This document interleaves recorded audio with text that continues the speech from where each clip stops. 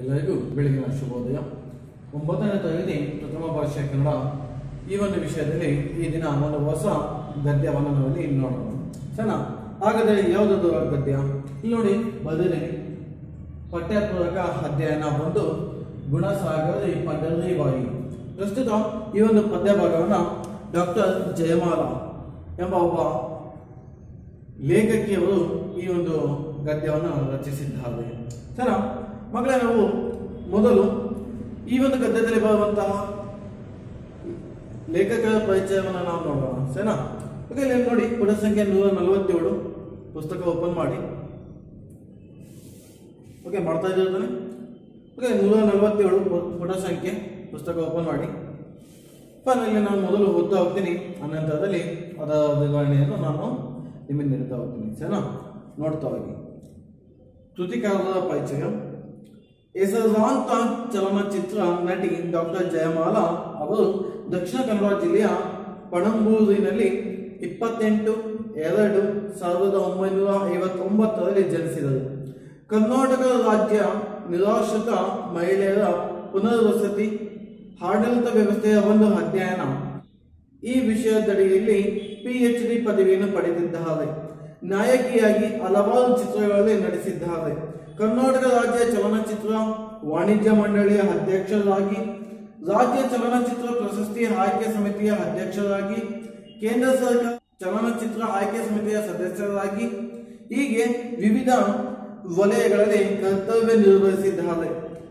ಅವರೇ ನಿರ್ಮಿಸಿ ನಟಿಸಿದ ತಾಯಿ ಸಾಹೇಬ ಚಿತ್ರಕ್ಕೆ ಸ್ವರ್ಣ ಕಮಲ ಪ್ರಶಸ್ತಿ, ಅಭಿನಯಕ್ಕೆ ವಿಶೇಷ ರಾಷ್ಟ್ರ ಪ್ರಶಸ್ತಿ, ಅತ್ಯುತ್ತಮ ನಟಿ ಅತ್ಯುತ್ತಮ ಚಿತ್ರ ಫಿಲ್ಮ್ ಫೇರ್ ಪ್ರಶಸ್ತಿ, ಹೀಗೆ ಹಲವಾರು ಪ್ರಶಸ್ತಿಗಳು ಲಭಿಸಿವೆ.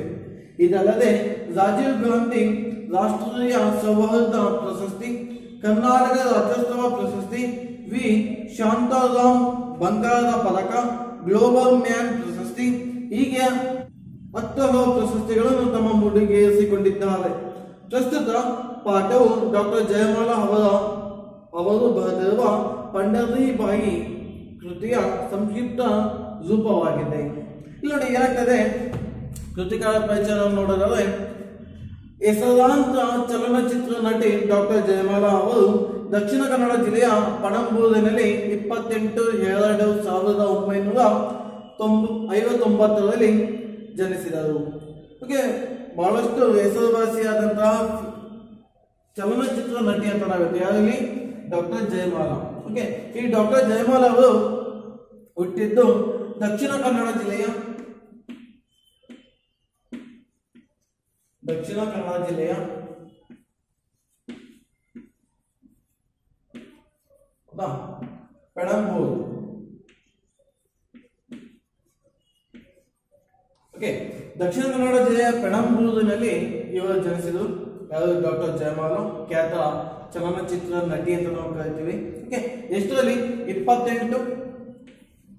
ಎರಡನೇ ತಿಂಗಳು ಸಾವಿರದ ಒಂಬೈನೂರ ಐವತ್ತೊಂಬತ್ತು. ಓಕೆ ನೋಡಿ, ಇಪ್ಪತ್ತೆಂಟನೇ ತಾರೀಕು, ಎರಡನೇ ತಿಂಗಳು ಸಾವಿರದ ಒಂಬೈನೂರ ಐವತ್ತೊಂಬತ್ತರಲ್ಲಿ ದಕ್ಷಿಣ ಕನ್ನಡ ಜಿಲ್ಲೆಯ ಪೆಣಂಬೂರಿನಲ್ಲಿ ಡಾಕ್ಟರ್ ಜಯಮಾಲ ಅವರು ಜನಿಸಿದರು. ಓಕೆ ಕರ್ನಾಟಕ ರಾಜ್ಯ ನಿರಾಶ್ರಿತ ಮಹಿಳೆಯರ ಪುನರ್ವಸತಿ, ಆಡಳಿತ ವ್ಯವಸ್ಥೆಯ ಒಂದು ಅಧ್ಯಯನ.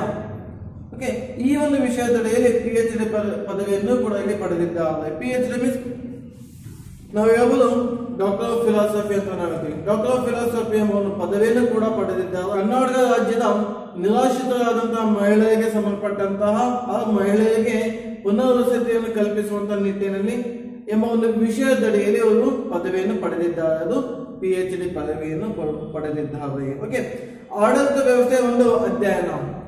ಎಂಬ ಒಂದು ವಿಷಯದಡಿಯಲ್ಲಿ ಪಿ ಎಚ್ ಡಿ ಪದವಿಯನ್ನು ಕೂಡ ಇವರು ಪಡೆದಿದ್ದಾರೆ ನಾಯಕಿಯಾಗಿ ಹಲವು ಚಿತ್ರಗಳನ್ನು ನಡೆಸಿದ್ದಾರೆ ಇಷ್ಟೆಲ್ಲ ನಾಯಕಿಯಾಗಿ ಕೂಡ ಇವರು ಹಲವಾರು ಚಿತ್ರಗಳಲ್ಲಿ ನಟಿಸಿದ್ದಾರೆ ಯಾರು? ಡಾಕ್ಟರ್ ಜಯಮಾಲ. ನೋಡಿ ಮುಂದೆ ನೋಡಿ.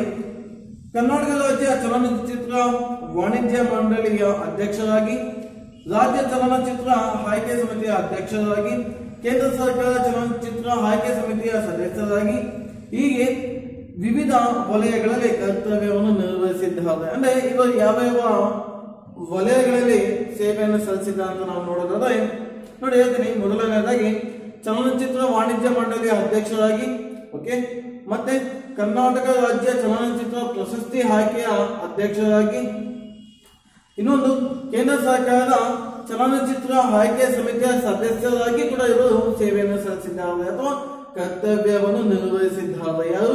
ಜಯಮಾಲ ಅವರು ಓಕೆ ಅಷ್ಟೇ ಅಲ್ಲ, ಅವರೇ ನಿರ್ಮಿಸಿ ನಟಿಸಿದಂತಹ ತಾಯಿ ಸಾಹೇಬ ಚಿತ್ರಕ್ಕೆ ಸುವರ್ಣ ಕಮಲ ಪ್ರಶಸ್ತಿ, ಅಭಿನಯಕ್ಕೆ ವಿಶೇಷ ರಾಷ್ಟ್ರ ಪ್ರಶಸ್ತಿ, ಅತ್ಯುತ್ತಮ ನಟಿ, ಅತ್ಯುತ್ತಮ ಚಿತ್ರ ಫಿಲ್ಮ್ ಫೇರ್ ಪ್ರಶಸ್ತಿ, ಹೀಗೆ ಹಲವಾರು ಪ್ರಶಸ್ತಿಗಳು ಲಭಿಸಿವೆ. ನೋಡಿ, ಅವರೇ ನಿರ್ಮಾಣ ಮಾಡಿ ಅವರೇ ನಟಿಸಿರುವಂತಹ ತಾಯಿ ಸಾಹೇಬ ಎಂಬ ಒಂದು ಚಿತ್ರಕ್ಕೆ ಸ್ವರ್ಣ ಕಮಲ ಪ್ರಶಸ್ತಿ ಲಭಿಸಿದೆ. ಅಷ್ಟೇ ಅವರ ಅಭಿನಯಕ್ಕೆ ವಿಶೇಷವಾದಂತಹ ರಾಷ್ಟ್ರ ಪ್ರಶಸ್ತಿ ಕೂಡ ಲಭಿಸಿದೆ. ಅಷ್ಟೇ ಅಲ್ಲ, ಅತ್ಯುತ್ತಮ ನಟಿ ಅಂತ ಒಂದು ಪ್ರಶಸ್ತಿ ಲಭಿಸಿದೆ. ಅತ್ಯುತ್ತಮ ಚಿತ್ರ ಫಿಲ್ಮ್ ಫೇರ್ ಪ್ರಶಸ್ತಿ, ಹೀಗೆ ಹಲವಾರು ಪ್ರಶಸ್ತಿಗಳು ಕೂಡ ಇವರಿಗೆ ಲಭಿಸಿದೆ. ಹಾಗೆ ಡಾಕ್ಟರ್ ಜಯಮಾಲಾ ಅವರಿಗೆ. ಓಕೆ, ಇದಲ್ಲದೆ ಇಷ್ಟೇ ಅಲ್ಲದೆ ರಾಜೀವ್ ಗಾಂಧಿ ರಾಷ್ಟ್ರೀಯ ಸೌಹಾರ್ದ ಪ್ರಶಸ್ತಿ ಕರ್ನಾಟಕ ರಾಜ್ಯೋತ್ಸವ ಪ್ರಶಸ್ತಿ ವಿ. ಶಾಂತಾರಾಮ್ ಬಂಗಾರ ಪದಕ, ಗ್ಲೋಬಲ್ ಮ್ಯಾನ್ ಪ್ರಶಸ್ತಿ, ಹೀಗೆ ಹತ್ತು ಹಲವು ಪ್ರಶಸ್ತಿಗಳನ್ನು ತಮ್ಮ ಮುಡಿಗೆ ಏರಿಸಿಕೊಂಡಿದ್ದಾರೆ ಹೀಗೆ ಹತ್ತು ಹಲವು ಪ್ರಶಸ್ತಿಗಳನ್ನು ತಮ್ಮ ಮುಡಿಗೆ ಏರಿಸಿಕೊಂಡಿದ್ದಾರೆ ತಮ್ಮ ಕಿರೀಟಕ್ಕೆ ಸೇರಿಸಿಕೊಂಡಿದ್ದಾರೆ ಯಾರು? ಡಾಕ್ಟರ್ ಜಯಮಾಲ. ಓಕೆ ಪ್ರಸ್ತುತ ಪಾಠವು, ಪ್ರಸ್ತುತ ಏನು ಪಾಠ ಇದೆಯಲ್ಲ ಗುಣಸಾಗರ, ಪಂಡರಿ ಬಾಯಿಗೆ ಪಾಠ ಇದೆಯಲ್ಲ ಈ ಪಾಠವನ್ನು ಡಾಕ್ಟರ್ ಜಯಮಾಲ ಅವರು ಬರೆದಿರುವಂತಹ ಪಂಡರಿ ಬಾಯಿ ಕೃತಿಯ ಸಂಕ್ಷಿಪ್ತ ರೂಪವಾಗಿದೆ. ಅವರು ಬರೆದಂತಹ ಕೃತಿಗಳು ಪಂಡರಿ ಬಾಯಿ ಎಂಬ ಒಂದು ಕೃತಿ. ಆ ಕೃತಿಯಿಂದ ಪ್ರಸ್ತುತ ಈ ಒಂದು ಪಾಠವನ್ನಲ್ಲಿ ಆಯ್ಕೆ ಮಾಡಿಕೊಳ್ಳಲಾಗಿದೆ. ಅರ್ಥ ಮಕ್ಕಳೇ? ಓಕೆ, ಇನ್ನೊಂದ್ಸಲ ಹೇಳ್ತೀನಿ ನೋಡಿ. ಇವರು ಹುಟ್ಟಿದ್ದು ದಕ್ಷಿಣ ಕನ್ನಡ ಜಿಲ್ಲೆಯ ಪೆಣಂಬೂರಿನಲ್ಲಿ ಇಪ್ಪತ್ತೆಂಟು ಎರಡು ಎರಡು ಸಾವಿರದ ಒಂಬೈನೂರ ಐವತ್ತೊಂಬತ್ತರಲ್ಲಿ. ಓಕೆ ಅಂಡ್ ಹಲವಾರು ಪ್ರಶಸ್ತಿಗಳು ಕೂಡ ಲಭಿಸಿದೆ. ಪಿ ಎಚ್ ಡಿ ಪದವಿಯನ್ನು ಕೂಡ ಪಡೆದಿದ್ದಾರೆ. ಹಲವಾರು ಚಿತ್ರ ನಿರ್ಮಾಣಗಳನ್ನು ಕೂಡ ಮಾಡಿದ್ದಾರೆ ಸಾಕಷ್ಟು ಹತ್ತು ಹಲವು ಪ್ರಶಸ್ತಿಗಳು ತಮ್ಮ ಮುಡಿಗೆ ಹೇಳಿಸಿಕೊಂಡಿದ್ದಾರೆ. ಯಾರು? ಡಾಕ್ಟರ್ ಜಯಮಾಲ. ಇದಿಷ್ಟು ಅವರ ಒಂದು ಕಿರು ಪರಿಚಯ. ಓಕೆ ಇನ್ನು ನಾವು ಗದ್ಯದ ಕಡೆ ನಾವು ನೋಡೋದಾದ್ರೆ ಪುಟ ಸಂಖ್ಯೆ ನೂರ ನಲವತ್ನಾಲ್ಕು ಪಡ ಸಂಖ್ಯೆ ಓಪನ್ ಮಾಡಿ. ಓಕೆ ಪುಸ್ತಕ ಓಪನ್ ಮಾಡಿ. ಪುಟ ಸಂಖ್ಯೆ ನೂರ ನಲವತ್ನಾಲ್ಕು. ಓಪನ್ ಮಾಡಿದಿರ್ತಾನೆ ಓಕೆ, ಇಲ್ಲಿ ನೋಡಿ, ಓದ್ತಾ ಹೋಗ್ತೀನಿ ನೀವು ನೋಡ್ತಾ ಹೋಗಿ. ಗುಣಸಾಗರ ಪಂಡರಿ ಬಾರಿ, ಡಾಕ್ಟರ್ ಜಯಮಾಲ. ಭಾರತೀಯ ಚಿತ್ರರಂಗವು ಹಿಂದೂ ಮದಯದ ನಟಿಯರಲ್ಲಿ ಪಂಡರಿ ಬಾರಿಯವರು ಒಬ್ಬರು. ಹೀಗೆ ನಟಿ ಮಾತ್ರವಲ್ಲ, ಮಹಾನ್ ವ್ಯಕ್ತಿತ್ವವುಳ್ಳವರಾಗಿದ್ದರು. ಅವರ ಬದುಕು ಮೇಣದ ಬತ್ತಿಯ ರೂಪವನ್ನು ಹೋಲುತ್ತದೆ.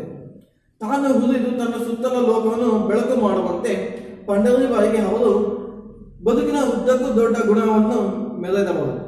ಚಿತ್ರರಂಗದ ಉತ್ತುಂಗದಲ್ಲಿ ಇದ್ದಾಗಲೂ ಪಂಡರಿಬಾಯಿ ಸಾಮಾನ್ಯಗಳಂತೆ ಬದುಕಿದ್ದವರು. ಸಿರಿ ಬಂದ ಕಾಲದಲ್ಲಿ ತಾನು ನಡೆದು ಬಂದ ಕಷ್ಟದ ದಾರಿಯನ್ನು ಮರೆಯದವರು. ದೇವರಲ್ಲಿ ಗಾಢವಾದ ನಂಬಿಕೆ ನಂಬಿಕೆ ಹೊಂದಿದ್ದ ಪಂಡರಿಬಾಯಿ ದುಡಿಮೆಯಲ್ಲಿ ದೇವರನ್ನು ಕಂಡವರು. ಸಿನಿಮಾ ಎಂಬ ಕನಸಿನ ಲೋಕದಲ್ಲಿ ನಟಿಸಿದವರು. ಮಾನವೀಯತೆಯನ್ನು ನಂಬಿದ್ದರೇ ಹೊರತು ಅದನ್ನು ಮಾತ್ರ ಅವರು ನಟಿಸಿದವರಲ್ಲ. ಆದ್ದರಿಂದಲೇ ಪಂಡರಿಬಾಯಿ ಎಂದರೆ ತಟ್ಟನ ನೆನಪಾಗುವುದು ಅಂತರಕರಣ ತುಂಬಿದ ತಾಯಿ ಮುಖ. ಭಾರತೀಯ ಚಿತ್ರರಂಗವು ಎಂದೂ ಮರೆಯದ ನಟಿಯರಲ್ಲಿ ಪಂಡರಿಬಾಯಿಯವರು ಕೂಡ ಒಬ್ಬರು ಅಂದ್ರೆ ನೋಡಿ, ನಮ್ಮ ಫಿಲಿಂ ಇಂಡಸ್ಟ್ರಿ ಹಲವಾರು ನಟಿಯರನ್ನ ಓಕೆ ಅಂದ್ರೆ ಅತ್ಯುತ್ತಮವಾಗಿ ಸಾಧನೆ ಮಾಡಿದಂತ ನಟಿಯರನ್ನ ಎಂದೂ ಕೂಡ ಮರೆಯಲ್ಲ. ಹಾಗೆ ಮರೆಯದೇ ಇರುವಂತಹ ನಟಿಯರಲ್ಲಿ ಪಂಡರಿ ಬಾಯಿಯವರು ಕೂಡ ಒಬ್ಬರು ಅಂತ ನಾವು ಹೇಳ್ತೀವಿ. ಓಕೆ ಪಂಡರಿ ಬಾಯಿಯವರು ಕೂಡ ಎಂದೂ ಮರೆಯಾದ ನಟಿಯರಲ್ಲಿ ಒಬ್ಬರು ಓಕೆ ಈಕೆ ನಟಿ ಮಾತ್ರವಲ್ಲ, ಮಹಾನ್ ವ್ಯಕ್ತಿತ್ವ ಉಳ್ಳವರಾಗಿದ್ದರು ಈಕೆ ಕೇವಲ ನಟಿ ಅಷ್ಟೇ ಅಲ್ಲ, ಮಹಾನ್ ವ್ಯಕ್ತಿತ್ವ. ಅಂದ್ರೆ ಬಹಳಷ್ಟು ಗುಣಗಳನ್ನು ಒಳಗೊಂಡಂತಹ, ಒಳ್ಳೆಯ ಗುಣಗಳನ್ನು ಒಳಗೊಂಡಂತಹ, ಮಹಾನ್ ವ್ಯಕ್ತಿತ್ವ ಉಳ್ಳಂತಹ ಒಬ್ಬ ಮಹಾನ್ ವ್ಯಕ್ತಿ. ಯಾರು? ಪಂಡರಿ ಬಾಯಿ. ಓಕೆ ಅವರ ಬದುಕು ಮೇಣದ ಬತ್ತಿಯ ರೂಪವನ್ನು ಹೋಲುತ್ತದೆ. ನೋಡಿ ಅವರ ಬದುಕು ಅವರ ಬದುಕಂದ್ರೆ ನಾವು ಹೇಳಬಹುದಲ್ಲಿ ಯಾಲಿ ಪಂಡರಿ ಬಾಯಿಯವರ ಒಂದು ಬದುಕು ಮೇಣದ ಬತ್ತಿಯ ರೂಪವನ್ನು ಹೋಲುತ್ತದೆ. ಮೇಣದ ಬತ್ತಿ ಯಾಕೆ? ಮೇಣದ ಬತ್ತಿ ಏನ್ ಮಾಡುತ್ತೆ? ತಾನು ಹುರಿದು, ತನ್ನ ಸುತ್ತಲೂ ಇರುವಂತಹ ಒಂದು ಪ್ರದೇಶಕ್ಕೆ ಬೆಳಕು ಕೊಡುತ್ತೆ. ಅದು ತಾನೆ? ಹಾಗೆ ಅಂತಹ ಗುಣವನ್ನು ಹೊಂದಿದವಳು ಯಾರು? ಪಂಡರೀಬಾಯಿ ಅವರು ನೋಡಿ, ಮುಂದೆ ಹೇಳ್ತೀನಿ. ತಾನು ಹುರಿದು ತನ್ನ ಸುತ್ತಲ ಲೋಕವನ್ನು ಬೆಳಕು ಮಾಡುವಂತೆ ಪಂಡರೀಬಾಯಿ ಅವರು ಬದುಕಿನ ಉದ್ದಕ್ಕೂ ದೊಡ್ಡ ಗುಣವನ್ನು ಮೆರೆದವರು ಇಲ್ಲಿ ಏನಾಗ್ತದೆ ನೋಡಿ? ತಾನು ಹುಲಿದು, ಈ ಮೇನದ ಪತ್ನಿ ಹೇಗೆ? ಹುಲಿದು ಬೆಳಕು ಕೊಡುತ್ತಲ್ಲ ಹಾಗೆ, ಇಲ್ಲಿ ಪಂಡರೀಬಾಯಿಯವರು ಕೂಡ ತಾವು ಹುಲಿದು ತನ್ನ ಸುತ್ತಲ ಲೋಕವನ್ನು, ತನ್ನ ಸುತ್ತಮುತ್ತ ಇರುವಂತಹ ಲೋಕವನ್ನು ಬೆಳಕು ಮಾಡುವಂತೆ, ಆ ಮೇಣದ ಭಕ್ತಿಯಂತೆ ಪಂಡರೀಬಾಯಿಯವರು ಕೂಡ ಬದುಕಿನ ಉದ್ದಕ್ಕೂ ಕೂಡ, ತನ್ನ ಜೀವಮಾನದ ಉದ್ದಕ್ಕೂ ಕೂಡ ದೊಡ್ಡ ಗುಣವನ್ನು ಮೆರೆದವರು ಯಾರು? ಪಂಡರೀಬಾಯಿಯವರು ಒಳ್ಳೆಯ ದೊಡ್ಡ ಗುಣಗಳನ್ನು ಮೆರೆದಂತಹ ಒಬ್ಬ ವ್ಯಕ್ತಿ ಅಥವಾ ನಟಿ ಅಂತ ನಾವು ಕೂಡ ನಾವು ಹೇಳಬಹುದು ಓಕೆ? ಚಿತ್ರರಂಗದ ಉತ್ತುಂಗದಲ್ಲಿದ್ದಾಗಲೂ ಪಂಡರೀಬಾಯಿ ಸಾಮಾನ್ ಸಾಮಾನ್ಯಗಳಂತೆ ಬದುಕಿದ್ದವರು. ನೋಡಿ, ಚಿತ್ರರಂಗದ ಉತ್ತುಂಗದಲ್ಲಿದ್ದಾಗ, ಚಿತ್ರರಂಗದಲ್ಲಿ ಅತಿ ಹೆಚ್ಚು ಹೆಸರು ಮಾಡಿದಂತ ಕಾಲದಲ್ಲೂ ಕೂಡ ಪಂಡರೀಬಾಯಿಯವರು ಏನ್ ಮಾಡ್ತಾ ಇದ್ರು? ಕೇವಲ ಸಾಮಾನ್ಯ ಮಹಿಳೆಯ ರೀತಿಯಲ್ಲಿ ಅವಳು ಬದುಕ್ತಾ ಇದ್ಲು. ಎಷ್ಟೇ ಸಾಧನೆ ಮಾಡಿದ್ರು ಕೂಡ ಅವಳಲ್ಲಿ ಬಿಂಕ ಇದ್ದಲ್ಲ. ಓಕೆ ಅಂದ್ರೆ ಅಹಂ ಇದ್ದಲ್ಲ ಅವಳಿಗೆ. ಸಿರಿ ಬಂದ ಕಾಲದಲ್ಲಿ ತಾನು ನಡೆದ ಬಂದ ಕಷ್ಟದ ದಾದೆಯನ್ನು ಮರೆಯದವರು ನೋಡಿ, ಸಿರಿ ಬಂದ ಕಾಲದಲ್ಲಿ, ಸಂಪತ್ತು ಬಂದಂತ ಕಾಲದಲ್ಲಿ ತಾನು ನಡೆದುಕೊಂಡು ಬಂದಂತ ಕಷ್ಟದ ಏನು ದಾದಿ ಇದೆಯಲ್ಲ, ಅದನ್ನ ಇನ್ನೂ ಕೂಡ ಮರೆತಿದ್ದಿಲ್ಲ. ಯಾರು? ಪಂಡರಿ ಅವರು. ದೇವರಲ್ಲಿ ಗಾಢವಾದ ನಂಬಿಕೆಯನ್ನು ಹೊಂದಿದ್ದ ಪಂಡರೀಬಾಯಿ ದುಡಿಮೆಯಲ್ಲಿ ದೇವರನ್ನು ಕಂಡವರು ನೋಡಿ, ದೇವರಲ್ಲಿ ಗಾಢವಾದ ನಂಬಿಕೆಯನ್ನು ಹೊಂದಿದಂತಹ ಪಂಡರೀಬಾಯಿ ಅವರು ದುಡಿಮೆಯಲ್ಲಿಯೇ ದೇವರನ್ನು ಕಂಡಂತವರು ಕಾಯಕವೇ ಕೈಲಾಸ ಬಸವಣ್ಣನವರು ಹೇಳ್ತಾರೆ ನೋಡಿ, ಅದೇ ರೀತಿ ಪಂಡವಲಿ ಅವರು ದುಡಿಮೆಯಲ್ಲಿಯೇ ದೇವರನ್ನು ಕಾಣುವಂತಹ ವ್ಯಕ್ತಿತ್ವ ಉಳ್ಳವಳಾಗಿದ್ದಳು. ಓಕೆ? ಸಿನಿಮಾ ಎಂಬ ಕನಸಿನ ಲೋಕದಲ್ಲಿ ನಡೆಸುತ್ತಿದ್ದಳು. ನೋಡಿ, ಸಿನಿಮಾ ಎಂಬ ಕನಸಿನ ಲೋಕ. ಯಾಕಂದ್ರೆ ಅದು ನಿಜವಾದ ಅಲ್ಲ. ಓಕೆ ಅದು ಕಥೆನ ಬರೆದ್ಬಿಟ್ಟು ಅದು ಕಥೆಗೆ ತಕ್ಕಂತೆ ನಟನೆ ಮಾಡ್ತಾರ. ಹೌದಾ? ಫೈನ್ ಸಿನಿಮಾನೇ ಬೇರೆ, ಜೀವನನೇ ಬೇರೆ. ಅದೇ ಇವತ್ತು ನೋಡಿ ಹೇಳ್ತಾನೆ ಸಿನಿಮಾ ಎಂಬ ಕನಸಿನ ಲೋಕದಲ್ಲಿ ನಟಿಸಿದವಳು. ಯಾರು? ಪಟ್ಟದೈಬಾಯಿ ಅವರು. ಮಾನವೀಯತೆಯನ್ನು ನಂಬಿದ್ದರೇ ಹೊರತು ಅದನ್ನು ಮಾತ್ರ ಅವರು ನಟಿಸಿದವರಲ್ಲ. ನೋಡಿ, ಮಾನವೀಯತೆಯನ್ನು ನಂಬಿದ್ದರೇ ಹೊರತು ಮಾನವೀಯತೆಯನ್ನು ನಂಬಿದ್ರು, ಮನುಷ್ಯತ್ವವನ್ನು ನಂಬಿದ್ದರು ಆದ್ರೆ, ಎಂದೂ ಕೂಡ ಅದನ್ನ ನಟನೆ ರೂಪದಲ್ಲಿ ನಟಿಸಿದ್ದಿಲ್ಲ. ಯಾರು? ಪಂಡದೈಬಾಯಿ ಅವರು ಅಂದ್ರೆ ನಿಜ ಜೀವನದಲ್ಲೂ ಕೂಡ ಮಾನವೀಯತೆಯಿಂದ ಬದುಕಿದ್ದವರು. ಮನುಷ್ಯತ್ವದ ಗುಣಗಳನ್ನು ಉಳ್ಳಂತಹ ಒಬ್ಬ ನಟಿ ನಿಜ ಜೀವನದಲ್ಲೂ ಕೂಡ. ಅದನ್ನ ಕೇವಲ ಈ ಚಿತ್ರರಂಗದಲ್ಲಿ ಹೇಗೆ ನಟನೆ ಮಾಡ್ತಾರೋ ಹಾಗೆ ಮಾನವೀಯತೆಯನ್ನು ಕೂಡ ನಟನೆಯ ಮೂಲಕ ತೋರಿಸಿದವರಲ್ಲ, ಅದು ನಿಜ ಜೀವನದಲ್ಲೂ ಕೂಡ ಒಳ್ಳೆಯ ಮಾನವೀಯತೆ ಗುಣಗಳನ್ನು ಒಳಗೊಂಡಿದ್ದರು ಎಂಬ ಒಂದು ಮಾತನ್ನು ಬರುತ್ತದೆ ಓಕೆ ಆದ್ದರಿಂದಲೇ ಪಂಡರೀಬಾಯಿ ಎಂದರೆ ತಟ್ಟೆ ಹಂತ ಕಾರಣ ತುಂಬಿದ ತಾಯಿಯ ಮುಖ. ನೋಡಿ, ಆ ಕಾರಣದಿಂದಾಗಿ ಪಂಡರೀಬಾಯಿ ಎಂದ ತಕ್ಷಣ ನಮಗೆ ನೆನಪಾಗೋದು ಏನು ನೆನಪಾಗದೆ ಅಂತಃಕರಣ, ಅಂದ್ರೆ ಕರುಣೆ. ಮಮತೆ ತಾಯಿಯ ವಾತ್ಸಲ್ಯ ತುಂಬಿದಂತಹ ತಾಯಿಯ ಮುಖ ಅಲ್ಲಿ ನಮಗೆ ಕಾಣುತ್ತೆ. ಅಂದ್ರೆ ಪಂಡರಪುರ ತಕ್ಷಣ ನಮ್ಗೆ ಕಾಣೋದು ತಾಯಿ ಮುಖ ಕಾಣುತ್ತೆ. ಓಕೆ ಅರ್ಥ ಆಯ್ತು ಮಕ್ಕಳೇ? ಇನ್ನು ಸೆಕೆಂಡ್ ಪ್ಲಾನ್ ನೋಡೋಣ. ಪಂಡರೀಬಾಯಿಯವರು ಸಾವಿರದ ಒಂಬೈನೂರ ಇಪ್ಪತ್ತೆಂಟು ಸೆಪ್ಟೆಂಬರ್ ಹದಿನೆಂಟರಂದು ಭಟ್ಕಳದಲ್ಲಿ ಜನಿಸಿದರು. ನೋಡಿ ಪಂಡರೀಬಾಯಿಯವರು ಸಾವಿರದ ಒಂಬೈನೂರ ಇಪ್ಪತ್ತೆಂಟು ಸೆಪ್ಟೆಂಬರ್ ಹದಿನೆಂಟನೇ ತಾರೀಕಿನಂದು ಇಲ್ಲಿ ಇಲ್ಲಿ ಭಟ್ಕಳದಲ್ಲಿ. ಭಟ್ಕಳದಲ್ಲಿ ಜನಿಸಿದರು ಓಕೆ ಪಂಡರೀಬಾಯಿ ಅವರು ಸಾವಿರದ ಒಂಬೈನೂರ ಇಪ್ಪತ್ತೆಂಟು ಸೆಪ್ಟೆಂಬರ್ ಹದಿನೆಂಟು ಭಟ್ಕಳದಲ್ಲಿ ಜನಿಸಿದರು ಇವರ ತಂದೆ ರಂಗರಾವ್ ತಾಯಿ ಕಾವೇರಿ ಬಾಯಿ.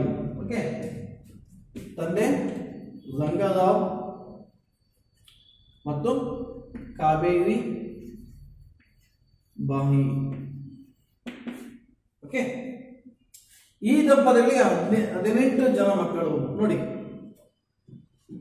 ಪಂಡಲಿಬಾಯಿ ಅವರ ತಂದೆ ಹೆಸರು ರಂಗರಾವ್, ತಾಯಿ ಕಾವೇರಿ ಕಾವೇರಿಬಾಯಿ ಈ ಇಬ್ಬರು ದಂಪತಿಗಳಿಗೆ, ಈ ದಂಪತಿಗಳಿಗೆ ಎಷ್ಟು ಜನ? ಹದಿನೆಂಟು ಜನ ಮಕ್ಕಳು.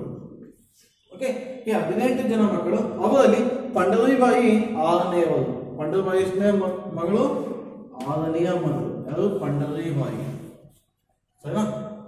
Fine. ನೋಡಿ ಪಂಡರಿಬಾಯಿಯವರ ಮೂಲ ಹೆಸರು ಗೀತಾ. ಅಂದ್ರೆ ಪಂಡರಿಬಾಯಿಯವರ ಮೂಲ ಹೆಸರು ನಾವಿಲ್ಲಿ ಬ್ರಾಕೆಟ್ ನೋಡಬಹುದು ಗೀತಾ.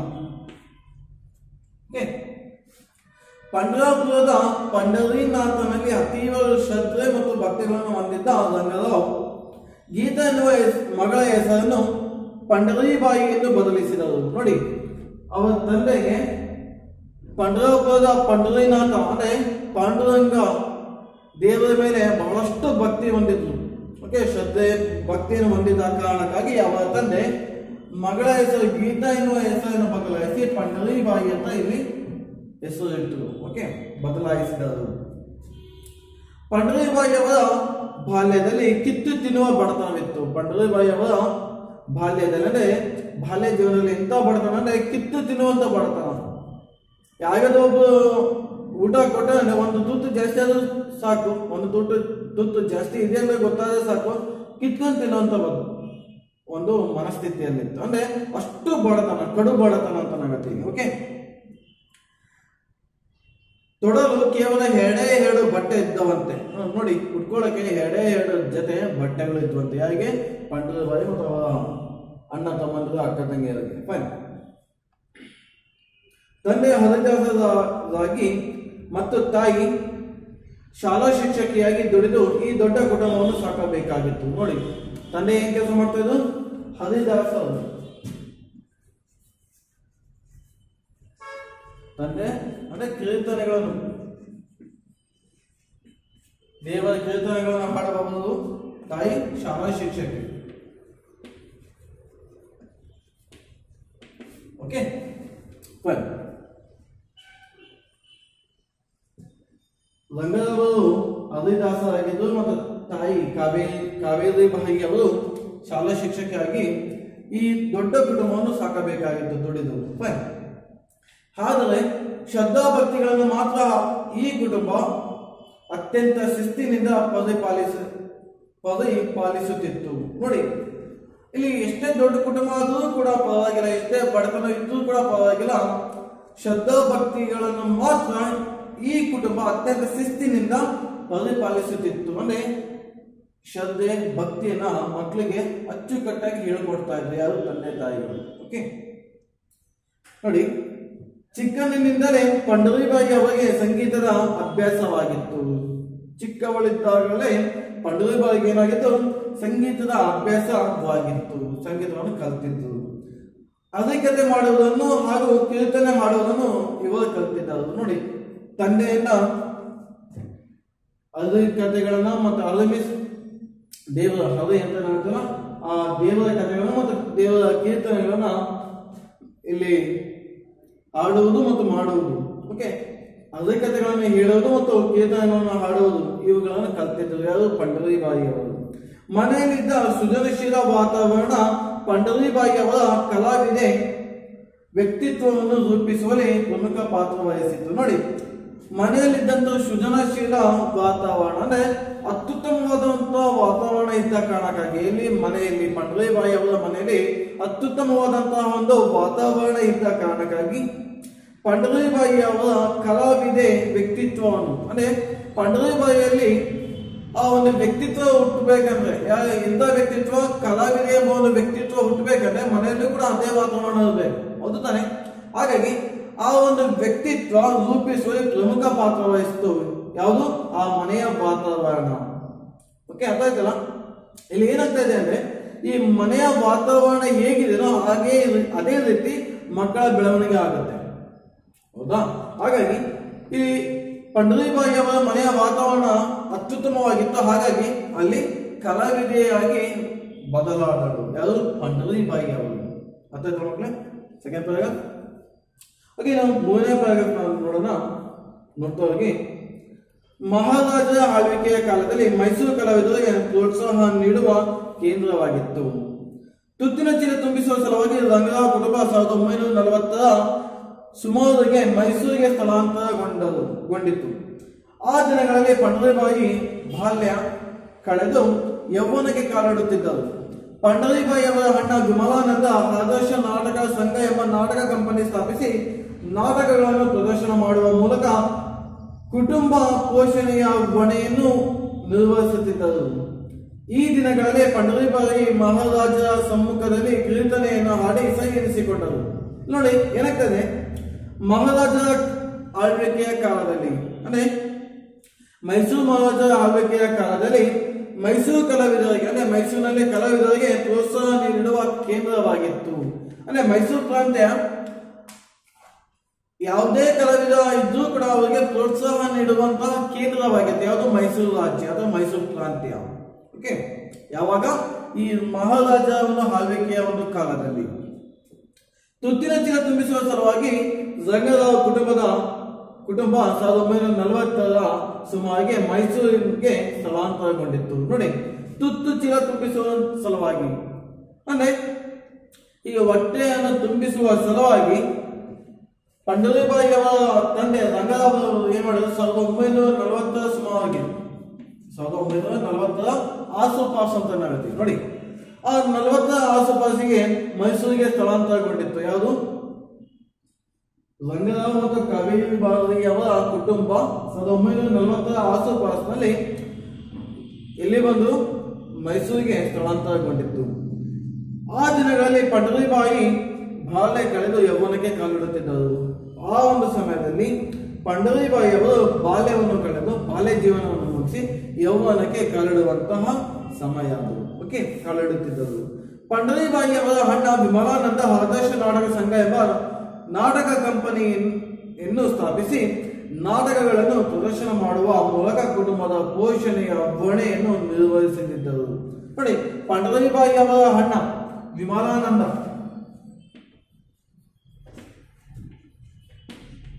ಓಕೆ ಈ ವಿಮಲಾನಂದ ಅವರು ಆದರ್ಶ, ನಾಟಕ, ಸಂಘ. ಓಕೆ ವಿಮಲಾನಂದ ಅಂದ್ರೆ ಪಂಡರಿಬಾಯಿಯವರ ಅಣ್ಣ. ಪಂಡರಿಬಾಯಿಯವರ ಅಣ್ಣ ವಿಮಲಾನಂದರು ಆದರ್ಶ ನಾಟಕ ಸಂಘ ಎಂಬ ನಾಟಕ ಕಂಪನಿಯನ್ನು ಸ್ಥಾಪಿಸಿ ನಾಟ ಆ ಒಂದು ಕಂಪನಿಗಳ ಮೂಲಕ, ನಾಟಕಗಳನ್ನು ಪ್ರದರ್ಶನ ಮಾಡುವ ಮೂಲಕ, ಕುಟುಂಬದ ರಕ್ಷಣೆ ಅಥವಾ ಕುಟುಂಬದ ಜವಾಬ್ದಾರಿಯನ್ನು ನಿರ್ವಹಿಸುತ್ತಿದ್ದರು ಯಾರು? ವಿಮಲಾನಂದ ಅವರು. ಓಕೆ ಈ ದಿನಗಳಲ್ಲಿ ಪಂಡಲಿಬಾಯಿ ಮಹಾರಾಜರ ಸಮ್ಮುಖದಲ್ಲಿ ಕೀರ್ತನೆಯನ್ನು ಹಾಡಿ ಎನಿಸಿಕೊಂಡಿದ್ದರು ನೋಡಿ, ಈ ದಿನಗಳಲ್ಲಿ, ಈ ಒಂದು ದಿನಗಳಲ್ಲಿ ಪಂಡರಿಬಾಯಿ ಅವರು ಮೈಸೂರು ಮಹಾರಾಜ ಸಮ್ಮುಖದಲ್ಲಿ, ಅವರ ಮುಂದುಗಡೆ ಕೀರ್ತನೆಗಳನ್ನು ಹಾಡಿಬಿಟ್ಟು ಆ ಮಹಾರಾಜರಿಂದ ಸಹಿಸಿಕೊಂಡಿದ್ದರು ಎನಿಸಿಕೊಂಡಿದ್ದರು ಯಾರು? ಪಂಡರಿಬಾಯಿ ಅವರು. ಓಕೆ ಇಂತಹ ದಿನಗಳಲ್ಲಿ ಪಂಡರಿಬಾಯಿ ಅವರಿಗೆ ಆಕಸ್ಮಿಕವಾಗಿ ಮುದುಕನ ಮದುವೆ ನಾಟಕದಲ್ಲಿ ಬಣ್ಣ ಹಚ್ಚುವ ಸನ್ನಿವೇಶ ಎದುರಾಯಿತು. ನೋಡಿ, ಈ ಒಂದು ದಿನಗಳಲ್ಲಿ ಇಂತಹ ಒಂದು ಸಮಯದಲ್ಲಿ ಪಂಡಲಿಬಾಯಿ ಅವರಿಗೆ ಆಕಸ್ಮಿಕವಾಗಿ, ಅಂದ್ರೆ ಎಂದೂ ನಿರೀಕ್ಷೆ ಮಾಡದಂತೆ ಆಕಸ್ಮಿಕವಾಗಿ ನಿರೀಕ್ಷಣೆ ಇದ್ದಿಲ್ಲ. ಆಕಸ್ಮಿಕವಾಗಿ ಈ ಪಂಡಲಿಬಾಯಿ ಅವರಿಗೆ ಮುದುಕನ ಮದುವೆ. ಮುದುಕನ ಮದುವೆ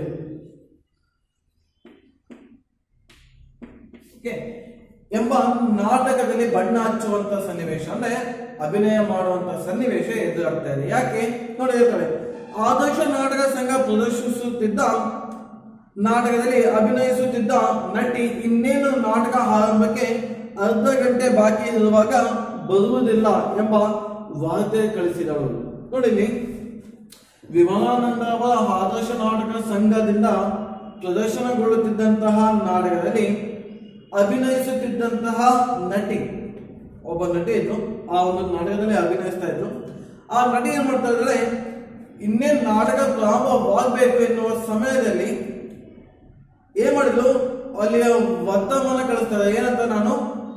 ಬರೋಕ್ಕಾಗ್ತಾ ಇಲ್ಲ. ನಾಟಕದಲ್ಲಿ ಅಭಿನಯ ಮಾಡಕ್ಕಾಗ್ತಾ ಇಲ್ಲ ಅಂತ ವಾರ್ತೆ ಅಂದ್ರೆ ವಿಚಾರವನ್ನು ಕಳಿಸಿದಳು. ನಾಟಕದ ಟಿಕೆಟ್ಗಳು ಕೃತಿ ಮಾರಾಟವಾಗಿದ್ದವು. ಅಂದ್ರೆ ಈ ನಾಟಕದ ಟಿಕೆಟ್ಗಳಂತ ಇತ್ತು ನೋಡಿ. ಆ ಟಿಕೆಟ್ ಎಲ್ಲವೂ ಕೂಡ ಖಾಲಿಯಾಗಿದ್ವು. ಎಲ್ಲ ಟಿಕೆಟ್ಗಳು ಬುಕ್ ಆಗಿದ್ವು. ಫೈನ್ ನಾಟಕ ನಿಂತರೆ ಬಹುದೊಡ್ಡ ಸಂಕಷ್ಟಕ್ಕೆ ಅಥವಾ ಕಷ್ಟಕ್ಕೆ ಕುಟುಂಬ ಸಿಕ್ಕಿಕೊಳ್ಳುತ್ತಿತ್ತು. ಅಂದ್ರೆ ನಾಟಕ ನಿಂತೋಗ್ಬಿಟ್ರೆ ಏನಾಗುತ್ತೆ? ತುಂಬಾ ಲಾಸ್ ಆಗ್ಬಿಡುತ್ತೆ. ಓಕೆ ಒಬ್ಬ ನಟಿಯಗೋಸ್ಕರ ನಾಟಕ ಏನಾದ್ರು ನಿಂತ್ಕೊಂಡ್ರೆ ಏನಾಗುತ್ತೆ?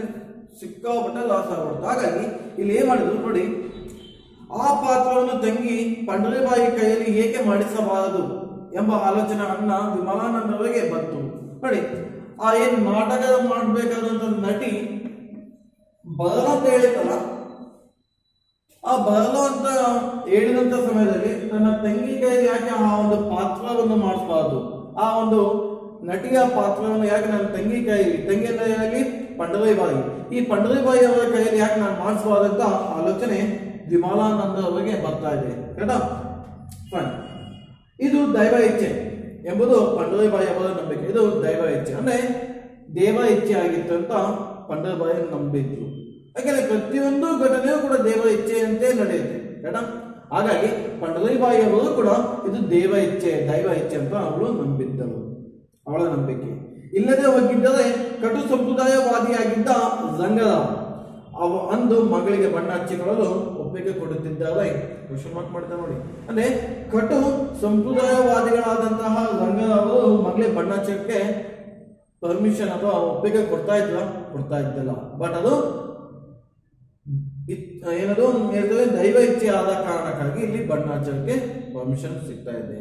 ಒಪ್ಪಿಗೆ ಸಿಗ್ತಾ ಇದೆ. ಫೈನ್ ಅರ್ಥಾಯ್ತಲ್ಲ ನೋಡಿ, ಮುಂದೆ ನಾವು ಮಾತಾಡ್ತೀನಿ ಆ ನಾಟಕ ಪ್ರದರ್ಶನ ನೋಡಲು ಪಿಟೀಲು ಚೌಡಯ್ಯನವರು ಹಾಗೂ ಸಿನಿಮಾ ವರ್ತಕರಾಗಿದ್ದಂತಹ ಕೆ. ಇರಣ್ಣಯ್ಯ ಅವರು ಬಂದಿದ್ದರು. ನೋಡಿ, ಆ ಸಿನಿಮಾ ನೋಡಕ್ಕೆ ಯಾರು ಬಂದಿದ್ರು?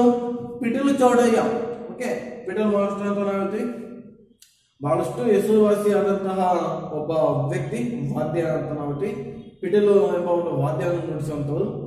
ಚೌಡಯ್ಯನವರು ಹಾಗೂ ಸಿನಿಮಾ ಪ್ರವರ್ತಕರು ಸಿನಿಮಾವನ್ನು ಬಿಡುಗಡೆ ಮಾಡುವಂತವರು ಕೆ ಹಿರಣ್ಣಯ್ಯ ಅವರು ಇಬ್ಬರು ಕೂಡ ಬಂದಿದ್ದರು. ಯಾವುದು? ಆ ಮುದುಕನ ಮದುವೆ ಎಂಬ ಒಂದು ನಾಟಕವನ್ನು ನೋಡುವುದಕ್ಕಾಗಿ. ಫೈನ್ ಅವರಿಬ್ಬರು ಅದೇ ಕಾಲಕ್ಕೆ ವಾಣಿ ಎಂಬ ಚಲನಚಿತ್ರವನ್ನು ಸಿದ್ಧಗೊಳಿಸುತ್ತಿದ್ದರು ನೋಡಿ, ಆ ಒಂದು ಕಾಲಕ್ಕೆ, ಆ ಒಂದು ಸಮಯದಲ್ಲಿ ಈ ಇಬ್ಬರು, ಯಾರು? ಪಿಟೀಲ್ ಚೌಡಯ್ಯ ಮತ್ತು ಕೆ ಹಿರಣ್ಣಯ್ಯ. ಈ ಇಬ್ಬರು ಕೂಡ ವಾಣಿ ಎಂಬ ಚಲನಚಿತ್ರವನ್ನು ಸಿದ್ಧಗೊಳಿಸುತ್ತಿದ್ದರು. ಅಂದ್ರೆ ನಿರ್ಮಾಣ ಮಾಡ್ತಾ ಇದ್ರು. ಅಂದು ಲಂಗದ ಮೇಲೆ ಪಂಡರಿಬಾಯಿ ಅವರ ಅಭಿನಯವನ್ನು ಕಂಡು ಮೆಚ್ಚಿ ತಮ್ಮ ಚಿತ್ರದಲ್ಲಿ ಸಣ್ಣ ಪಾತ್ರವೊಂದನ್ನು ನೀಡಿದರು. ನೋಡಿ. ಆ ನಾಟಕದಲ್ಲಿ ಅಭಿನಯಿಸಿದಂತ ಬಾಯಿ ಬಾಯಿಯನ್ನು ನೋಡಿ ಮೆಚ್ಚಿ ಅಂದು ವಾಣಿ ಎಂಬ ಒಂದು ಚಿತ್ರದಲ್ಲಿ ಸಣ್ಣದೊಂದು ಪಾತ್ರವನ್ನು ನೀಡಿದರು. ಯಾರು? ಪಿಟೀಲ್ ಚೌಡಯ್ಯ ಮತ್ತು ಕೆ. ಹಿರಣ್ಣಯ್ಯ. ಹೀಗೆ ಮಹಾನಟಿಯೊಬ್ಬಳ ಸಿನಿಮಾಯಾನ ಶುರುವಾಯಿತು. ಹೀಗೆ ಮಹಾನಟಿಯೊಬ್ಬಳ ಸಿನಿಮಾಯಾನ ಅಂದ್- ಅಂದ್ರೆ ಅಲ್ಲಿಂದ ಅವಳ ಚಿತ್ರರಂಗ ಕ್ಷೇತ್ರಕ್ಕೆ ಕಾಲಿಟ್ಟರು ಅಂತ ನಾವು ಹೇಳ್ತೀವಿ. ಅಲ್ಲಿಂದ ಪ್ರಾರಂಭವಾಯಿತು. ಓಕೆ ಸಿನಿಮಾಯಾನ ಅಲ್ಲಿಂದ ಪ್ರಾರಂಭವಾಗ್ತಾರೆ ಯಾಕೆ? ಪಂಡ್ರಿಬಾಯಿ ಅವರಿಗೆ. ಅರ್ಥಾಯ್ತಾ ಮಕ್ಕಳೇ ಓಕೆ ಇಲ್ಲಿ ನಿಲ್ಲಿಸಿ, ಇನ್ನು ಮುಂದಿನ ತರಗತಿಯಲ್ಲಿ ಮತ್ತೊಂದಿಷ್ಟು ಅಂಶಗಳ ಬಗ್ಗೆ ನಾವು ನೋಡೋಣ. ಸರಿನಾ? ಹಾಗಾದ್ರೆ ನಾವು ಈ ದಿನದ ತರಗತಿಯಲ್ಲಿ ಪಂಡ್ರಿಬಾಯಿ ಅವರ ತಂದೆ ತಾಯಿ ಹೆಸರು, ಅವರು ಹುಟ್ಟಿದಲ್ಲಿ ಹೌದಾ ಮತ್ತೆ ಅವರ ಅಣ್ಣ, ಅವರ ತಂದೆಯ ಏನು ಕೆಲಸ ಮಾಡ್ತಾ ಇದ್ರು, ತಾಯಿ ಏನು ಕೆಲಸ ಮಾಡ್ತಾ ಇದ್ರು, ಅವರ ಅಣ್ಣ ವಿಮಲಾನಂದ ಅವರ ನಾಟಕದ ಸಂಘ ಕಂಪನಿಯ ಹೆಸರು. ಓಕೆ ಅಷ್ಟೇ ಅಲ್ಲ, ಪಂಡರಬಾಯಿ ಅವರಿಗೆ ಬಣ್ಣ ಹಚ್ಚಲು ಕಾರಣವಾದಂತ ಅಂಶಗಳು ಮತ್ತು ಆ ನಾಟಕವನ್ನು ನೋಡಕ್ ಬಂದಂಥ ಪಿಡಿಲ್ ಚೌಡಯ್ಯ ಮತ್ತು ಕೆ ಹಿರಣ್ಣಯ್ಯ. ಆ ಒಂದು ಅಂಶಗಳ ಬಗ್ಗೆ ನಾವು ನೋಡಿದ್ವಿ. ವಾಣಿ ಎಂಬ ಚಿತ್ರದಲ್ಲಿ ಸಣ್ಣದೊಂದು ಪಾತ್ರವನ್ನು ನಿರ್ವಹಿಸಿ ಅಲ್ಲಿಂದ ಸಿನಿಮಾಯಾನ ಪ್ರಾರಂಭವಾಯಿತು. ಹಾಗೆ ಪಂಡರಬಾಯಿ ಅವರಿಗೆ ಇದಿಷ್ಟು ಅಂಶಗಳ ಬಗ್ಗೆ ನಾವಿಲ್ಲಿ ಈ ದಿನದ ತರಗತಿಯಲ್ಲಿ ನಾವು ನೋಡಿದ್ವಿ. ಹೌದು ತಾನೆ? ಇನ್ನು ಮುಂದಿನ ತರಗತಿಯಲ್ಲಿ ಮತ್ತೊಂದಿಷ್ಟು ಅಂಶಗಳನ್ನು ನಾವಿಲ್ಲಿ ತಿಳ್ಕೊಳ್ಳೋಣ ಸರಿನಾ? ಹಾಗಾದ್ರೆ ಮಕ್ಕಳೇ, ಈ ದಿನದ ತರಗತಿಯನ್ನು ಇಲ್ಲಿಗೆ ನಿಲ್ಲಿಸೋಣ. ಧನ್ಯವಾದಗಳು.